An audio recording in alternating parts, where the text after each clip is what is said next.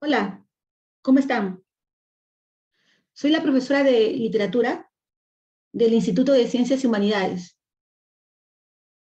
Mi nombre es Ana María Carti y bueno, juntos vamos a desarrollar el tema de la semana 12, que es el siglo de oro español, y vamos a analizar un poema narrativo, un poema narrativo eh, llamado la égloga 1 o la égloga primera. Muy bien. Los objetivos que, vamos a cumplir en esta, en esta sesión es definir, ¿no? acercarnos un poco a la definición de, del siglo de oro español y, su importancia ¿no? en el ámbito histórico, en el ámbito, ámbito literario. Muy bien, luego de ello, conocer sus características principales, sobre todo el género que vamos a, que vamos a tratar el día de hoy, ¿no? que es la poesía la poesía. Muy bien, de, y vamos a hablar de un autor llamado Garcilaso de la Vega. Muy bien, Garcilaso de la Vega con su poema Églogas. Su poema Églogas. Muy bien, ese es el, el, desarrollo de la sesión de hoy. Muy bien, y vamos a, a empezar. Vamos a empezar. Muy bien. A ver, para acercarnos un poco al, al contexto, acercarnos un poco al contexto, em, qué está pasando, qué está pasando en el mundo entero, en el mundo entero. Muy bien. A ver, se está dando la colonización de América, como vemos en la imagen, están, están llegando, ¿no? Por vía marítima, ¿no? Los españoles, Se está, eh, bueno, hay una dinastía que son los Austrias, la publicación de la primera gramática en español de Antonio, Antonio de Nebrija, ¿no? el mismo año, el mismo año 1492. Muy bien. Em, también podemos hablar pues de ya a la llegada, ya a la llegada, la implantación pues del, virreinato, ¿no? Del virreinato en nuestro continente. Y la influencia, la influencia católica. Muy bien. Ahora, vamos a, ya con el contexto, vamos a desarrollar el tema de hoy. El siglo de oro español. Muy bien, el siglo de oro español. A ver, em, en la semana 11, en la semana 11, ustedes desarrollaron un cantar de gesta. ¿Recuerdan? Desarrollaron el poema del mío sí. ¿No? La historia de Rodrigo Díaz de Vivar. Muy bien, la historia de Rodrigo Díaz de Vivar. Entonces, em, la primera pregunta sería, ¿cuándo España, cuando España deja de ser medieval y pasa a ser moderna? Muy bien, porque a partir del siglo de oro, escúchenme, estamos hablando de una España moderna. Entonces, ¿cuándo España deja de ser medieval? Y pasa a ser una España moderna. ¿bien? Recordemos que en la España medieval, bien, en la clase anterior, que ustedes vieron el, cantar del mío sí, España recibía influencia, a ver, vamos a recordar, España recibía influencia de los franceses, recibía influencia de mm, los visigodos, ¿no? y recibía influencia oriental, oriental, de los judíos, de los, mm, de los musulmanes. ¿Bien? Esa es la España medieval. La España medieval. Ahora, ¿cuándo hablamos de una España moderna? Con la influencia italiana. Con la influencia italiana. ¿Bien? Cuando Italia influye en España. Y si hablamos de Italia, estamos hablando pues de sus tres principales representantes. Sus tres principales representantes, que fueron Francesco Petrarca, Giovanni Boccaccio y el autor de Divina Comedia. ¿Quién era? Dante Alighieri. Muy bien, Dante Alighieri. Ahora, eh, bueno, antes de, empezar, antes de empezar, quisiera mencionar algo. No si es que alguien duda. Ali, mira, profesora, entonces en la, época medieval no había influencia italiana. no, sí había influencia italiana. Muy bien, sí había influencia italiana. Ya está. Pero no, no, no desde el punto de vista estético. No desde el punto de vista literario. Muy bien. Recuerden que siempre tienen, tenemos que enfocar, enfocar pues eh, toda la información que recibes en este curso a la literatura, ¿no? A la literatura. Pero ¿había, ¿había influencia italiana en la España medieval? Por supuesto. Pero no desde el, no, no desde el punto de vista eh, artístico o estético o literario. Muy bien. ¿Por qué, Ana? ¿Por qué? Porque estaba prohibido. Estaba prohibido, pero ahora sí. Pero ahora sí. Muy bien. Entonces, con la influencia italiana, estamos hablando pues de, una España, una España moderna. Bien, ahora, la influencia, eh, la influencia italiana, les comento, no fue solamente en España, fue en toda Europa en realidad. Muy bien, España influye en toda Europa. Muy bien. Em, a partir del, siglo XVI. Muy bien. Y, y, a, y a ese periodo se le va a llamar siglo de oro siglo de oro, aunque también, y mejor, sería llamarlo edad de oro española. Te explico. ¿Por qué, ¿Por qué es mejor? Porque la denominación siglo de oro em, hace referencia a, 100 años exactos, ¿cierto o no? A 100 años exactos, ¿no? Em, pero este, este periodo de esplendor de las letras, muy bien, de las letras, duró más de 100 años. Bien, e, empezó en el siglo XVI, estamos hablando del año 1501, bien, hasta fines del siglo XVII. Fines del siglo XVII, exactamente, exactamente 1681, con la muerte, con la muerte del gran Pedro Calderón de la Barca el gran Pedro Calderón de la Barca. Entonces, ¿de qué estamos hablando? Estamos hablando de, 100 años, saca tu cuenta.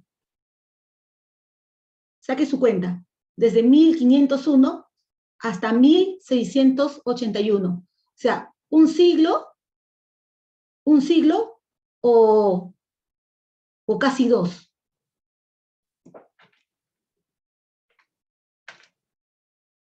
Casi dos, exacto.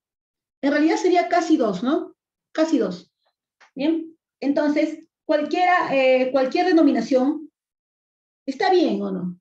En el fondo, cualquier denominación está bien. Siglo de oro español o edad de oro española. Muy bien, edad de oro española. Ahora, si nos referimos al, al, nombre, ¿no? Edad de oro. Cuando decimos edad de oro, por ejemplo, la edad de oro de, de una mujer ¿A qué da eso, no? O sea, ¿a qué crees que, se refiere? Si, usamos el título, porque es una metáfora, ¿no? lo usamos de esa forma. Muy bien, ¿a qué cree que se refiere? Cuando dice, no, está, eh, el negocio está viviendo, está en su edad de oro. Está en su edad de oro. ¿a qué cree que se refiere? ¿No? O digo, ¿no? Eh, eh, ese hombre o esa mujer ¿no? está en su edad de oro. A ver, ¿a qué cree que se refiere? ¿Que le está pasando mal? Em, en el negocio, que le está yendo mal, que no hay ingresos, no hay ventas, no, o lo contrario. ¿Qué sería? Lo contrario, ¿no? Claro, si yo digo que eh, eh, está atravesando su edad de oro, diría que está pasando su mejor momento. Muy bien, su mejor momento. Y justamente a ello, a ello se refiere pues eh, eh, el, tema de hoy, ¿o no? España, la España moderna, se encuentra en su mejor momento. Como dice ahí, se encuentra en su etapa de esplendor. Su etapa de esplendor. Ahora, su etapa de esplendor de las letras españolas.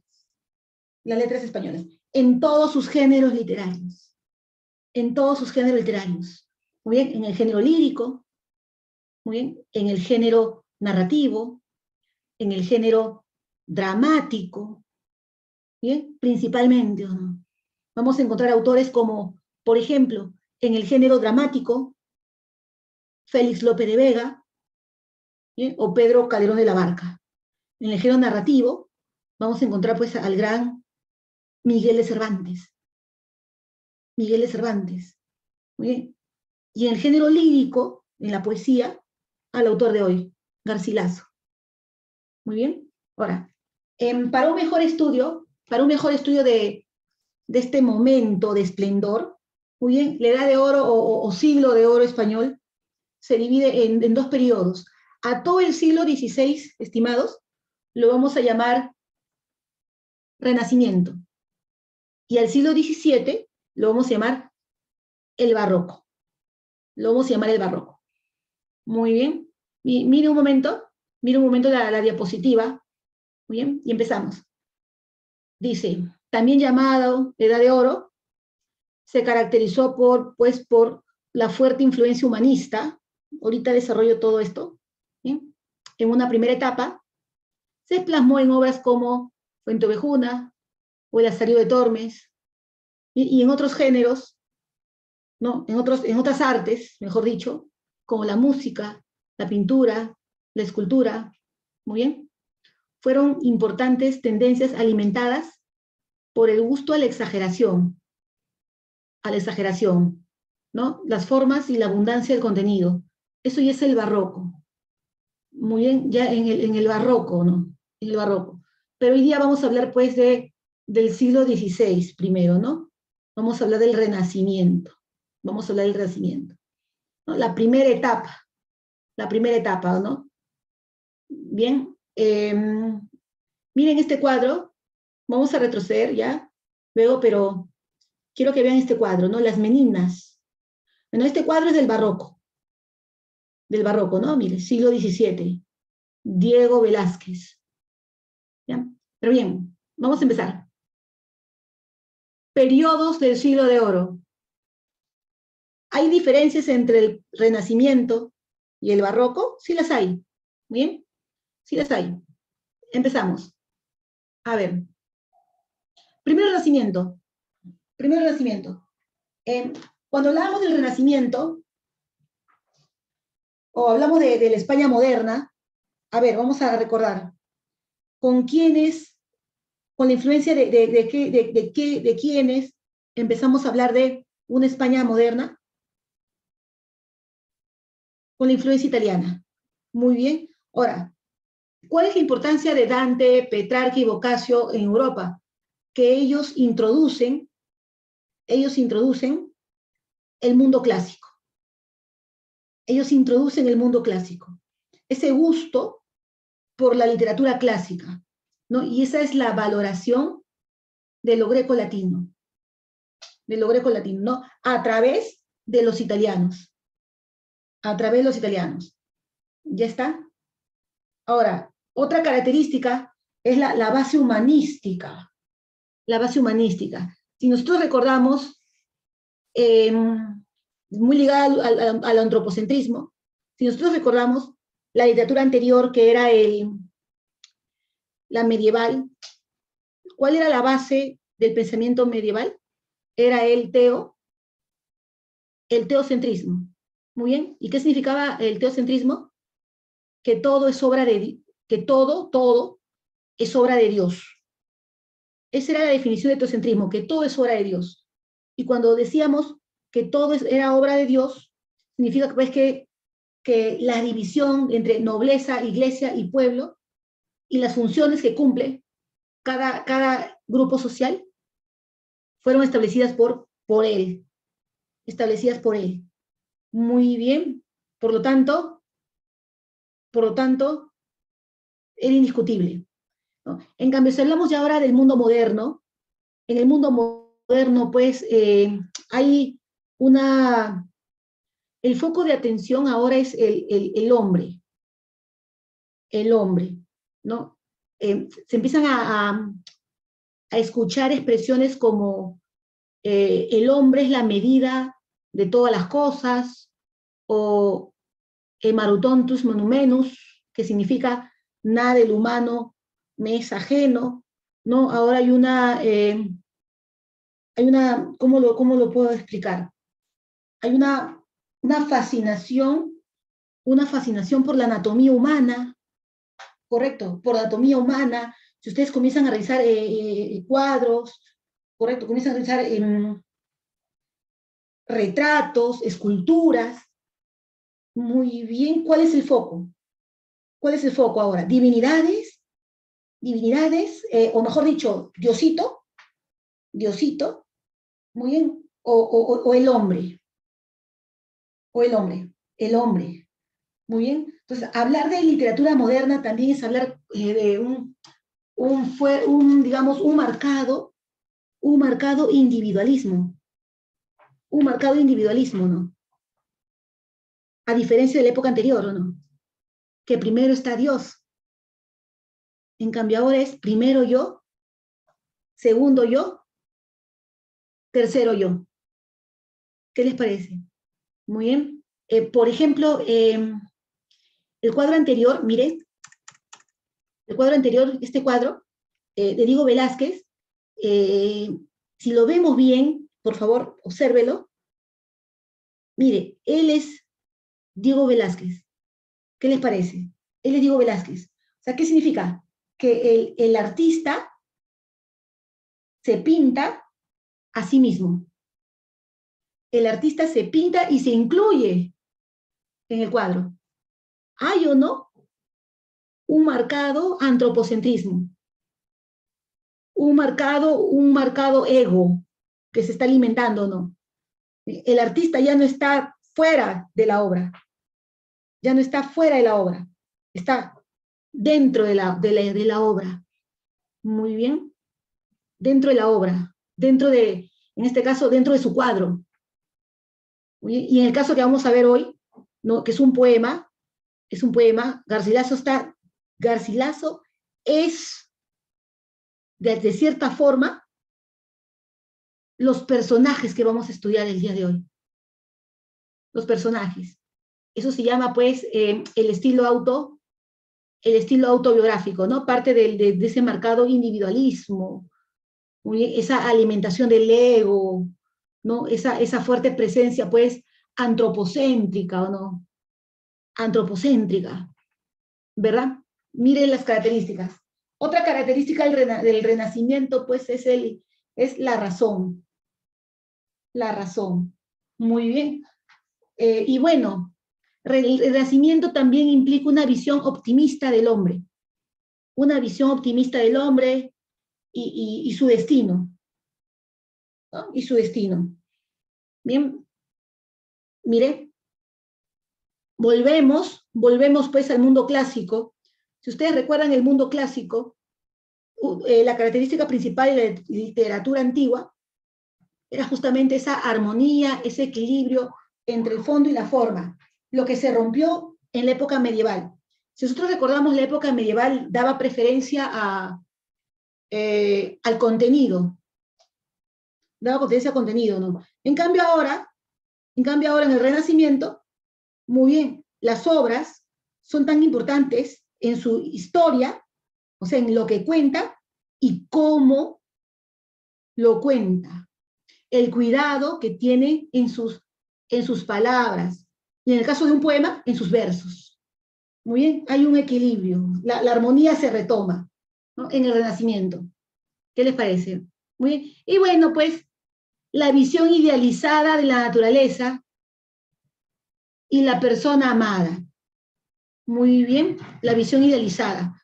Y, esto, em, que quede claro, por favor, porque si bien hay racionalidad, también hay imaginación también hay una imaginación, ¿no? Correcto. Muy bien. Recordemos que los temas renacentistas por, por excelencia, por excelencia, pues es el tema del amor. Que lo vamos a ver en un momento, el tema del amor. El amor. Y el tema de la naturaleza. ¿No? Son los temas ejes, ¿no? Que, que, que se equilibran, ¿no? Que se armonizan. El amor y la naturaleza muy bien, se equilibran, eh, se mimetizan, se mimetizan. por ejemplo. Ahora, todas estas características, estimados, estimados jóvenes, pertenecen al Renacimiento. Muy bien, y ahora, y cuando surge el barroco, muy bien, vamos a ver lo contrario. Lo contrario. Ahora dirá, eh, y profesor, ¿y por qué? ¿Por qué? Porque ustedes saben que la literatura es, es em, reflejo de la realidad. Muy bien, es reflejo. Si, si la, en la realidad, en el mundo, hay estabilidad económica, social, pregunto, ¿la literatura cómo se expresa? Si es reflejo de la realidad, ¿cómo se expresa? Muy bien. Con una mirada optimista, por ejemplo, ¿no? Sí, una mirada optimista. Muy bien. Pero a ver, salgámonos un momento del tema. Vayamos ahorita, pues, a lo que estamos viviendo desde el 2020, ¿no? De 2020. Muy bien. Pero, pero en este tiempo, en este tiempo de, de, de pandemia, de encierro, de cuarentena, de contagios, de pérdidas humanas, ¿o no? Pérdidas humanas. Muy bien, eh, incluso de, no sé, de, de, distanciamiento, ¿no? Con los seres queridos. Muy en estos tiempos crítico, ¿no? Sumado pues a una, a una guerra, ¿no? Y sumado a, a, a otros virus, a otros virus que ahora pues eh, nos están, eh, nos estamos enterando por los medios, ¿no? Y ustedes, ustedes saben a lo que me refiero. Eh, en un momento crítico, a nivel social, a nivel sanitario, a nivel político, no, no, no hablemos de nuestro, no, nuestra política. Eh, cómo se plasma la literatura. Ahora, ¿cómo se plasma? ¿Cómo sería la mirada de un escritor? A ver, ¿sería optimista? ¿Sería optimista o sería lo contrario? ¿Qué creen ustedes? Y lo contrario. Lo contrario, exacto. Eh, e igual ocurre en el barroco, estimados. Muy bien el barroco va, a cambiar, el barroco va a cambiar las, características del Renacimiento justamente porque España está atravesando una crisis, ¿no? Y la lectura barroca es, es, es el reflejo de esa crisis, es el reflejo de esa crisis. Muy bien, política, social, económica, muy bien. Y bueno, hace un momento mencioné las tres clases sociales, las tres clases sociales bien marcadas que, que había, que era el clero, la nobleza y el pueblo. Y voy a hacer una pregunta sencilla. Cuando hay crisis, ¿qué grupo social es el grupo afectado? Cuando hay crisis. Cuando hay crisis. A ver, ¿cuál es el grupo social afectado? ¿La nobleza, la clase alta, los que están bien, los que están acomodados? ¿El clérigo, los miembros de la iglesia o la clase trabajadora. ¿Quiénes son? Los que se, lamentablemente se perjudican. ¿Quiénes son? El pueblo, la clase trabajadora. Ustedes lo han dicho, ¿no? Muy bien. Siempre son los que se llevan la peor parte. ¿No? Hasta ahora. Hasta ahora no. Muy bien. Siempre sí. Que hay crisis, el pueblo es el, ¿no? el que se afecta, ¿no? En su economía, por ejemplo, ¿no? En su economía. ¿Ya está? Y si no hay dinero, no hay comida. Y si no hay comida, me enfermo. Un, eh, mal genera otro mal. Un mal genera otro mal. Y en el siglo XVII, España está atravesando una, una fuerte una fuerte crisis. Muy bien. Una fuerte crisis. Por lo tanto, España, eh, la España barroca, la España del siglo XVII, muy vuelve a la Edad Media. Muy bien, vuelve al teocentrismo. Ojo, pero una, una pausa, una pausa. Cuando España era antropocéntrica, Muy bien, o sea, que el centro era el hombre. Muy bien, escúchenme por favor esta parte. Muy bien. Recuerden que eh, los españoles creen mucho en Dios. Entonces, a diferencia de, otros países modernos, europeos, muy bien, el hombre, en España, ojo, ¿ah? el hombre aquí no está sobre Dios. No está sobre Dios. Solo que la presencia humana, esa fijación por la, anatomía, el cuerpo, muy bien, el cuerpo humano, muy bien, está presente. Está presente. Muy bien, está presente, eso sí. ¿Ya? No se olviden. Ahora, bueno, en el barroco se vuelve el teocentrismo. Bueno, pues ya la visión no es optimista, hablamos de una visión eh, pesimista, nadie me quiere, todos me odian, estoy viejo. Por ejemplo, la visión pesimista, muy bien, el abandono, la visión negativa de, la vida, del mundo, esta, esta expresión que vamos a, analizar en algún momento, ¿no? Ubisum, o sea, ¿y para qué? ¿Y para qué? ¿Para qué me voy a casar? ¿Para qué voy a ingresar? ¿Para qué voy a tener una carrera? Si me voy a morir. ¿Ese, es, es un marcado no pesimismo? ¿Es un marcado o no pesimismo? Les pregunto a ustedes. Imagínense eh, estar pensando así de esta forma, ¿no? Ustedes que se están preparando para la universidad, ¿pero para qué voy a ingresar? Si al final me voy a morir, ¿no? Pero ¿para qué? Si todo pasa, todo acaba, todo acaba, hasta, hasta, la, hasta el amor acaba. Porque recuerden, todo lo que empieza acaba, todo lo que sube baja, todo lo que nace muere. Qué barroco, qué barroco, ¿no? Qué pesimista, qué negativo. Eso es el barroco. Muy bien. Eh, ahora, hasta el lenguaje se diferencia. El lenguaje renacentista es un lenguaje sencillo. Sencillo. Recuerden que una palabra, una palabra muy renacentista, apúntenla por favor porque no está aquí, es la palabra moderación. Moderación. ¿Debido a qué, Ana? ¿Debido a qué? Al equilibrio, muy bien, al equilibrio, a la armonía. Una palabra clave renacentista es la palabra moderación. Entonces, lo opuesto en el barroco sería la palabra, pues, exceso. Hay un exceso de qué? De retoricismo. el lenguaje barroco es muy recargado, muy complejo, muy artificioso. O sea, ya no es natural.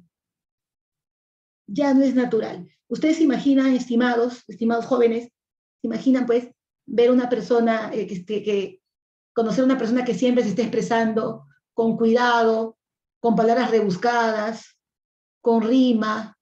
Yo les pregunto a cualquiera de ustedes, ¿ese sería, ese sería una persona pues natural? ¿Sería un lenguaje natural? ¿Natural? O más bien artificioso, retórico, rebuscado, ¿no? Rebuscado, ¿cierto? Eso es el barroco, pues. Eso es el barroco. Muy bien. Y bueno, la ruptura del equilibrio entre el fondo y la forma. La ruptura del equilibrio. Muy bien. Por ejemplo, que, bueno, lo vamos a ver pues en obras como, ¿no? En las siguientes semanas, en las siguientes semanas, ¿no? Como eh, La vida de sueño, ¿no? Que es un drama, un drama barroco, un drama barroco. Muy bien. Incluso eh, la misma palabra drama, la misma palabra drama, ya, ya rompe la idea o el concepto de armonía. Ya rompe o no. Porque recordemos, recordemos eh, que para, en la época antigua, en la época antigua, eh, la historia o tenía un final feliz o tenía un final trágico. Si tenía un final feliz, era una comedia.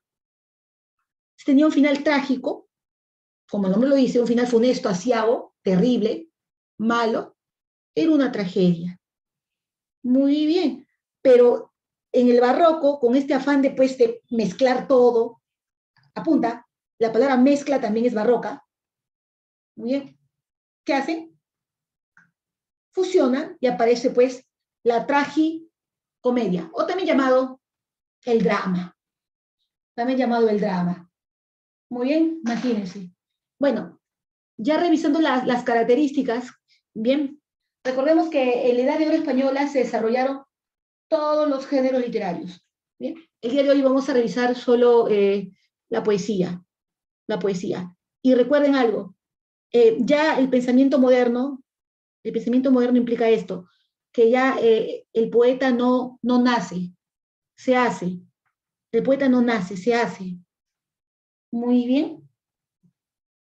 Muy bien. Y ese es un pensamiento que hasta ahora mantenemos, ¿o no? Por eso si usted, si usted ha escuchado, hay escuelas de arte, ¿no? Hay escuelas de, de, de, artistas, ¿o no? O sea, si alguien me dice, no, Ana, yo no tengo el talento para pintar, no, Ana, yo tengo el talento para escribir poemas. Bueno, correcto. Y el que me diga que nació con talento, está, eh, eh, o el que te diga que nació con talento, miente. Miente. Muy bien, del pensamiento moderno. Muy bien, ya, ya el poeta no nace, se hace, se prepara, se forma, incluso Dante.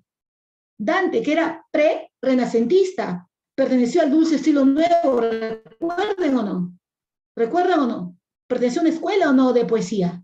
Muy bien, entonces ya el poeta nace. No, el poeta se hace, el poeta se forma. Muy bien, se forma. Y bueno, por la influencia italiana, evidentemente, la primera escuela pues que aparece en España, que aparece en España pues es la escuela italiana, también llamada la escuela petrarquista. Y aquí se encuentra eh, el autor de hoy, Garcilaso. Vamos a revisar sus églogas. Bien, ahí está, mire, mire por favor la, diapositiva. El siglo XVI, Renacimiento. El primer Renacimiento, esto es por, por periodos, ¿ya? Es una especie de, de, procesos, ¿ya? Cronología. O sea, no voy a empezar, ¿qué Hay un primer nacimiento y un segundo nacimiento, ya, ya, ya, ya, no entiendo, ya, ya me perdí. No se preocupen. Renacimiento, nada más. Aparece otra escuela, la Salmantina, ¿no? De Fray de León. Hay un poema muy conocido, La Vía Retirada. La escuela sevillana de, Fernando de Herrera. Muy bien. Una obra ahí de referencia es la relación de la guerra de Chipre y suceso de la batalla de Lepanto, por ejemplo. Eh, Bien, en el siglo XVII aparecen dos escuelas más, dos escuelas más. La escuela conceptista con Francisco de Quevedo, el Parnaso español, y, la escuela culterana con un gran, un gran autor cordobés muy, muy, muy querido, Luis de Góngora y Argote, ¿no? Soledades. Muy querido y rescatado más adelante por una generación llamada la generación del 27. ¿Han escuchado de eh, Federico García Lorca? Federico García Lorca, poeta de Nueva York, romancero gitano, bodas de sangre, muy bien, entre otros, entre otros artistas, ¿no? Entre otros artistas. ¿Ya está? Entonces, si hablamos de la poesía española, por la diapositiva, estamos hablando de, cinco escuelas, cinco escuelas poéticas. Bien, la italiana, la salmantina, la sevillana, la conceptista y la culterana. Y vamos a hablar de la escuela, pues, italiana, la escuela de, Garcilaso, la escuela de Garcilaso. Muy bien, empezamos. Muy bien. Em, el poeta, el poeta, el poeta español, el poeta español, eh, ¿qué va a aprender en la escuela? evidentemente que a componer o no poemas, a componer poemas. y así como un texto, su unidad es el párrafo, la unidad, del, la unidad del poema es la estrofa. Yo les pregunto, si yo les menciono pues tipos de estrofas, ¿ustedes conocen tipos de estrofas? ¿Podrías mencionarme cinco? A ver, te doy tiempo. Mencióname cinco.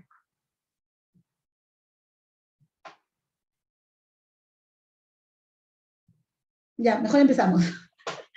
mejor empezamos. Estrofas o no. Ahora, todas las estrofas, mire, italianas. La lira. ¿Qué es una lira? ¿Cómo reconozco una lira?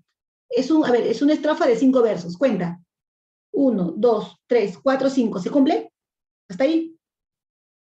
Se cumple, ya, se cumple. Cinco versos. 1, 2, 3, 4, 5. compuesta por tres versos de siete sílabas y dos de once. Lo que significa, por lógica, que los tres de siete serán estos, ¿no? Los más cortos. Este, el tercero y el cuarto. El segundo y el quinto son de once. Vamos a ver. Qué descansada vida. Siete. Heptasílabo. Sí. La del que huye, la del que huye del mundanal, la del, la del que huye del mundanal ruido. Sí, once. Y sigue la escondida. Recuerda que esto se llama sinalefa, acá se junta. Y sigue la, es, la escondida. Y salen siete. Y salen siete. Muy bien. Si usted lo lee separado y sigue la escondida, ya no sería verso, sería prosa. Y ya usted no está declamando, recitando, usted está hablando, nada más. Es la diferencia entre hablar o, prosar, como quiera decirlo, y versar, o recitar o declamar, que existen pues recursos estilísticos. Por ejemplo, si una palabra termina en vocal y la siguiente empieza en vocal, se juntan y se forma la sinalefa. Y sería, y sigue la escondida. Hay siete. ¿Ya ve? Ahora, esas son las sílabas, muy bien, métricas. Ahora, si hablamos de sílabas ortográficas, como si fuera eh, lenguaje, imaginemos, sería y sigue la escondida. Serían ocho. Serían ocho y no siete. Senda por donde han ido. Siete. Los pocos sabios Ken se junta, Ken, en no. Ken, el mundoan, mundoan, doan, sido. Once. Sí está bien. Qué descansada vida, la del que huye del mundanal ruido y sigue la escondida senda por donde han ido los pocos sabios que en el mundo han sido. ¿Hay o no un, cuidado de, de la expresión o no? un cuidado ¿no? de la expresión. Bien, la silba. ¿Qué es la sílaba? La silba. La silba es una estrofa compuesta por endecasílabos y heptasílabos también. ¿Ya? Combinados, combinados, que no presentan una extensión de versos definidos. O sea, no son cinco como la lira, tampoco son seis, tampoco son siete. A la vista, a la vista, miren, Recuerden, ¿ah? a la vista, ¿cuántos heptasílabos hay, hay aquí? A la vista, el más corto, ¿cierto? Uno. Uno. De solo hay uno, mire. Solo hay uno. ¿Ves? Por eso dice combinados. Son combinados, acá hay uno. Entonces yo imagino que estos son de 11, 11, ¿ves? 11, 11, 11, 11, 11. Los demás. Y solo hay uno. Esta es una silva. No hay una cantidad exacta, muy bien, de, versos, y ni siquiera pues hay, un número exacto de cuántos de 11 y cuántos de 7. La lira sí. Mire la lira, ¿qué diferencia o no? Son 5, 3 de 7 y 2 de 11. Así, en este orden. Ah, Suano, o sea que si un poeta quería componer una lira, tenía que respetar siempre ese número de versos y esa medida de cada uno. Y, sí, tenía que hacerlo. Sí, tenía que respetar la forma la forma. Sí tenía que hacerlo. Entonces la silva como que es un poco más libre, ¿no?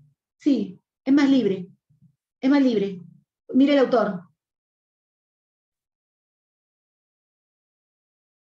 Mire el autor. A ver si recuerdas la diapositiva anterior. Góngora, ¿era renacentista o barroco? Barroco, ¿ya ve? Un poco más libre, porque se rompe, ¿no? Se rompe el equilibrio. Se rompe, ¿o no? La forma se rompe la forma. O sea, ese cuidado de que, que sean cinco, que sean dos de estos, tres de estos, no. Ese es el renacimiento, mira, mira la diferencia entre el renacimiento y el barroco. ¿Se nota no? ¿Ves? Solo en el estilo. Solo en el estilo. Eh, el soneto, o el soneto, es una estrofa de 14 versos. Hay más, mire, 14 versos, dos cuartetos y dos tercetos.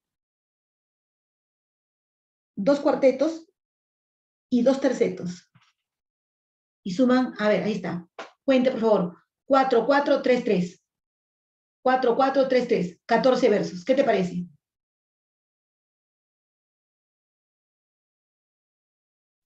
Aquí.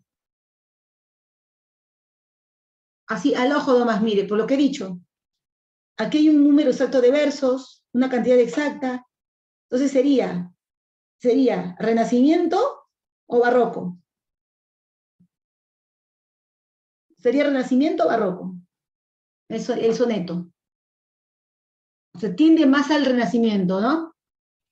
Al renacimiento, por la forma, el cuidado de la forma. Y no solamente les comento el cuidado de la forma, sino el tema. El tema por excelencia de un soneto es el tema amoroso. El tema amoroso. Muy bien, lo que vamos a, llamar, pues, el... Y lo habrán escuchado. El carpe diem. ¿Han escuchado el carpe diem? Mm, sí, carpe diem. Sí, ya está. Mire, mire, mire. Dos de cuatro y dos de tres, en este orden. Ana, puede ser al revés, dos de tres, ah, eh, que empiecen con los dos de tres, dos tercetos y no, no, no, no, no, no. La forma es exacta, ser fija, el soneto. Muy, y mire la rima, mire la rima, mire la rima el, primero y el cuarto, la rima consonántica, el primero y el cuarto rima, el segundo y el tercero. El primero y el cuarto, el segundo y el tercero. Mira, mira, mira, mira. ¿Qué te parece? Hay o no un trabajo, hay o no un trabajo, un cuidado aquí. Imagínense que alguien aquí le manden usted, le manden usted a, componer un soneto. Mire, mire todo lo, todo lo que uno debe respetar, ¿o no? Dos cuartetos y dos tercetos. Seguimos, mire. Mire, mire, por favor. La rima es ABBA, ABBA, y todos son de 11 sílabas métricas. Todos, mira. Todos son de 11 sílabas métricas. ¿Qué le parece? De 11 sílabas, todos. Todos son endecasílabos. Bien cuidado, ¿no? Bien cuidado y si lo analizamos por partes, encontramos un montón de recursos literarios, un montón de recursos literarios. Escrita está en mi alma vuestro gesto. Solo mire el primer verso. Escrita está en mi alma vuestro gesto. Vuestro gesto está escrito en mi alma. ¿Qué hay aquí? Desorden. Desorden. ¿Y cómo se llamaba el desorden gramatical? ¿Cómo se llamaba? Hipérbato. ¿Ves? Mire, ni bien empiezo a leer, ya hay, un, ya, hay un, ya hay una figura literaria presente. El hipérbato. ¿Qué te parece? Este es el soneto. Ahora, vamos a, la estancia. Es una estrofa conformada por seis versos, a ver, heptasílabos y endecasílabos. ¿Qué te parece? Hasta ahorita, si usted se da cuenta, usted se da cuenta, y yo sé que ya se dio cuenta, Em, los, versos que, los, versos, los versos predominantes en la poesía española de la de oro o del siglo de oro son los de 11 y de 7. ¿Cierto o me equivoco? Los de 11 y de 7.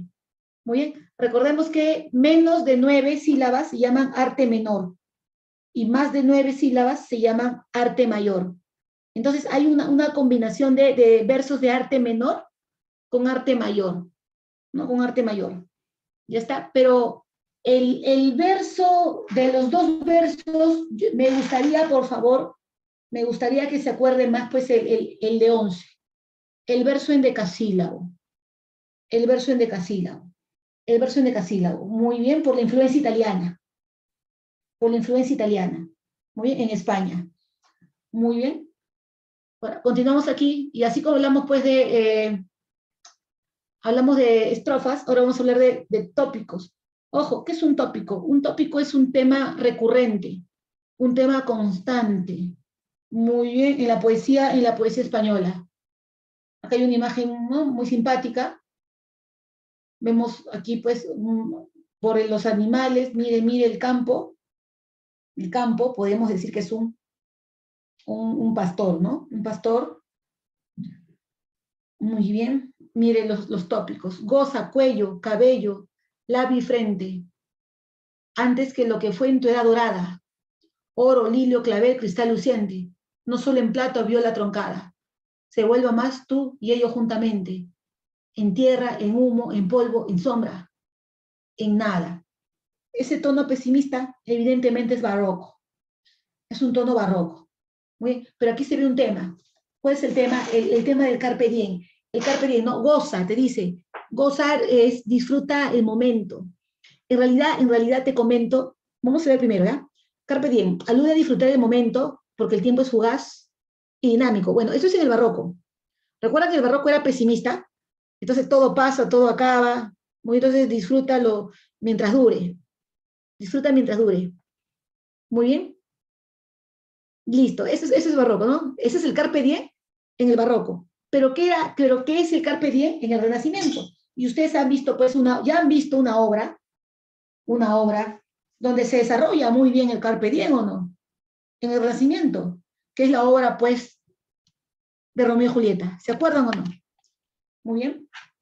¿Qué, qué era el Carpe Diem de Romeo y Julieta? Pues era, este, este, aprovecha tu belleza, aprovecha tu juventud.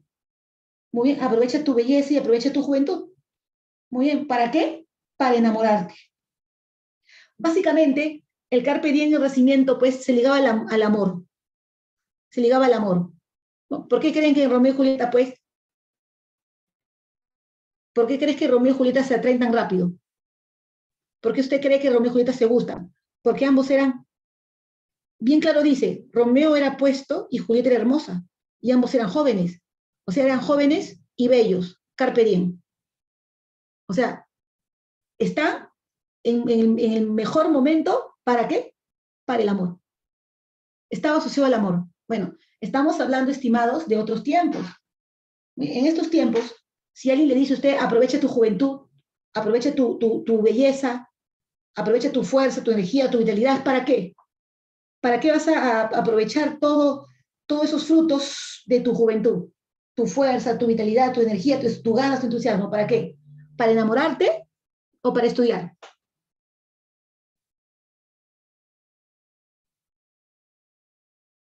para estudiar, ¿no? Ah, muy bien, qué diferencia. Listo. Mire, el carpe. Muy bien. Vivir quiero conmigo, gozar quiero del bien que debo al cielo. A solas, sin testigo, libre de amor, de celo, de odio, de esperanza, de recelo. Del monte de la ladera, por mi mano plantado tengo un huerto. Que ya, alguien mira acá, Ana, pero acá dice vivir quiero conmigo, gozar quiero del bien. A solas, libre de amor. Y usted ha dicho que el diem es el amor, y acá dice libre de amor. Pausa, no me juzgues, respira. Espérate, por, fíjate el autor. Fíjate el autor. También, ¿o no? Primero hablemos del autor. Fray, es un fraile. Entonces es una literatura de carácter religioso, de carácter religioso. Muy bien. Correcto.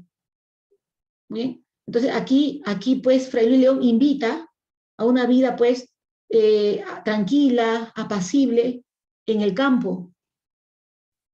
Y esto es el famoso Beatus Ille. Este es otro tópico. No confunda con el Carpe Diem. Y también es el autor, ¿o no? El autor. Muy bien, este es, este es eh, eh, para los poetas religiosos, la vida feliz o feliz aquel como dice Beatus es aquel que, que hace una vida retirada del, del mundo, del mundanal ruido, como dice Fray Luis, o sea, de los vicios, de las fiestas, las, las fiestas, las chicas, eh. muy bien. Y se aleja a vivir a dónde? Tranquilo, tranquilo, del monte en la ladera, por no plantado tengo un huerto. Muy bien, ese es el Beatus El feliz aquel, ¿o no? Muy bien. Claro. De alguna forma, em, nosotros hacemos, cuando uno está de vacaciones, por ejemplo, em, nos alejamos un poco, ustedes también lo harán con, su con sus familias, ¿verdad? A veces las personas cuando están de vacaciones en el trabajo, se alejan o no de la ciudad y se van no un momento al campo, se van o un momento a, vivir alejados del ruido, de la ciudad, del tráfico, o no. Incluso algunos de la tecnología, ¿no? De la tecnología, ¿verdad? Ese es el Beato ¿no? Es una vida tranquila en el campo, una vida tranquila. Feliz aquel que lo logra. Muy bien. Bueno, hoy por hoy solo es cuando estás de vacaciones, ¿no? Cuando de vacaciones, por ejemplo. Muy bien. A ver, continuamos. El lugar ameno. ¿Qué es el lugar ameno? O el locus amenus, ¿no? El nombre latino. Exalta la belleza de naturaleza, pero ojo, de forma idealizada. Así como idealizan a la mujer, también idealizaban a la naturaleza. Cerca del Tajo, en soledad amena, de verdes sauces hay una espesura, toda de hiedra revestida y llena, que por el tronco basta de la altura, y así la teje arriba y encadena. Que el sol no haya paso a la verdura, el agua baña, escucha esta parte. cierra tus ojitos, imagínate esto. El agua baña el prado, o sea, las plantas, ¿no?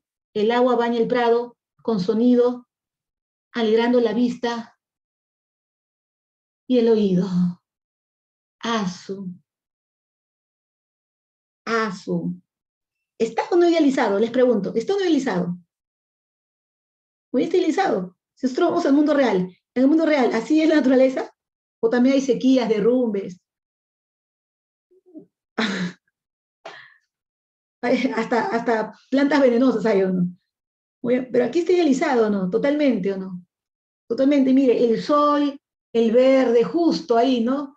En una total armonía, el agua baña el prado, el sonido, y usted está gozando, ¿no? Gozando, ¿no? De tanta belleza ya, ¿no? Tanta belleza. Imagínense, ¿no? Ese es el locus amenus, ¿no? Y se hablamos del autor de hoy, Garcilaso, es representante de la lírica renacentista, de la escuela italiana. Muy bien. Si bien eh, otro integrante de la escuela era Juan Boscán, y fue Boscán, no Garcilaso, ojo, fue Juan Boscán el que introduce la poesía italiana, pues, eh, a España, muy bien, el que desarrolla la poesía de Petrarca, pues, ¿no? de, los, de los italianos, muy bien, como dice aquí, al itálico modo, es decir, como si fuera un italiano más, ese es Garcilaso. Muy bien. Ese es Garcilaso. Y Garcilaso, pues, es este, es el autor, es el poeta renacentista por excelencia. Ese cuidado de la forma, la musicalidad, ¿no? Ese es Garcilaso. Muy bien. Y si hablamos de Garcilaso, pues, hablamos pues de, autores clásicos como Horacio, como Virgilio, y, tuvo una musa, así como Dante tuvo a Beatriz y Petrarca Laura, muy bien, porque también era parte de, ser poeta, era idealizar a una mujer. Garcilaso pues idealiza a una mujer portuguesa llamada Isabel Freire. Muy bien, Isabel Freire. ¿Ya está?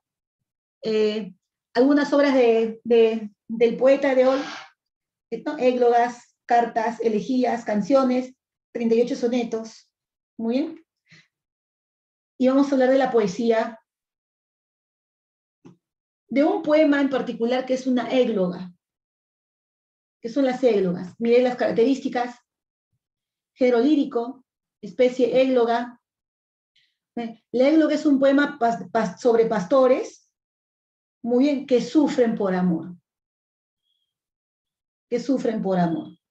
Muy bien, las estrofas son estancias, y como ya les dije, no se, no, se me compliquen la vida, chicos. Te van a lo, que te van a preguntar siempre es, el tipo de verso. Y ya le dije, son dos. Los de 11 y los de 7. Ya marcaste bien la clave. Muy bien, las estancias. en el caso de, de esta égloga se utilizan dos monólogos, porque hay dos personajes principales, ¿no? Pues hay dos monólogos, muy bien, que justamente son pastores, muy bien, pastores. Muy bien. Ahora, aquí hay algo extraño, son pastores, pero hablan muy bonito, muy bonito. O sea, como si fueran personas instruidas, ¿no? De, alcurnia, como dice aquí, ¿no? Cortesanos. ¿Ven? ¿Y, cómo, y por, qué lo, por qué lo afirmo? Porque emplean muchos recursos literarios, ¿o no? Porque diría que, ah, son leídos, instruidos, ¿o no? Y son pastores, nada más, ¿o no? Son pastores. Muy bien. Ahora, hay un estribillo constante, un estribillo constante que, que está al final de cada estrofa, que dice, salir sin duelo, lágrimas corriendo. Te lo explico ahorita, antes de empezar. Muy bien. Les dije que en esta historia, porque recuerden que es un poema narrativo, nos cuenta historias de amor de dos pastores, es un amor triste, un amor doliente, un amor doliente. Entonces, cuando ellos van contando, siempre dicen, salir sin duelo, lágrimas corriendo. Es como decir, llora, llora, salir sin duelo, o sea, salir sin pena, llora, lágrimas corriendo, o sea, llora, llora, o sea, que te, que te vea llorando, que sepan que estás llorando, llora.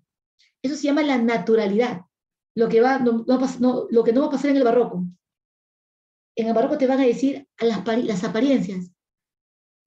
¿Estás, ¿Estás triste por amor? Sí, aguántate, que nadie se lo note, que nadie se dé cuenta. Tú sonríe, la función debe, debe continuar. Ese es el barroco, ¿no? Ah, ya, no, eso es, pero eso es ser falso, la apariencia. Ajá, ese es un lema barroco. El mundo es un teatro. El mundo es un teatro y tú eres un actor. Tienes que fingir. Te duele, aguántate. Estás sufriendo, no importa. No importa. Pero en el renacimiento es diferente, estimados. ¿Estás sufriendo? Sufre. ¿Quieres llorar? ¡Llora! ¡Llora! ¿Quieres gritar? ¡Grita! ¿Salir sin duelo? Lágrimas corriendo. Y por la influencia pues clásica hay referencias mitológicas de todas maneras, ¿no? El uso de la mitología es renacentista, es barroco, es de la edad de oro, en realidad. El tema, como les mencioné, es el lamento o el dolor por amor de los pastores llamados Salicio y Nemoroso, que como les dije, en la vida real es el autor. ¿Te acuerdas? Lo autobiográfico, el autor. Muy bien. El primero, que es Salicio, se lamenta por el desprecio y la frialdad de Galatea. ¿no? ¿Por qué son así, verdad? Y el segundo, que es nemoroso, se sufre por Elisa. ¿Qué hizo ahora? Se murió. Qué, qué pesada, ¿no? se murió. Muy bien. Ahora, Salicio y Nemoroso son Garcilaso, Galatea y Elisa son Isabel. ¿Se acuerda que, que mencioné que Isabel Freire era su musa? Ahí está. Isabel, ¿o no? En la vida real también sufrió por ella, pues en en este poema narrativo es ella, ¿no? Es ella. Muy bien. Temas, los temas son pues la, belleza y el recuerdo de la amada, ¿no? La muerte, la muerte. Yo te pregunto, a ver, así de manera rápida y al ojo, al ojo, ¿quién de los dos cree usted que sufre más? Salicio Nemoroso. Salicio porque ella es, ella lo desprecia, ella es fría, ella es indiferente, o nemoroso porque ella ha muerto? ¿Quién crees que sufre más? ¿Quién diría?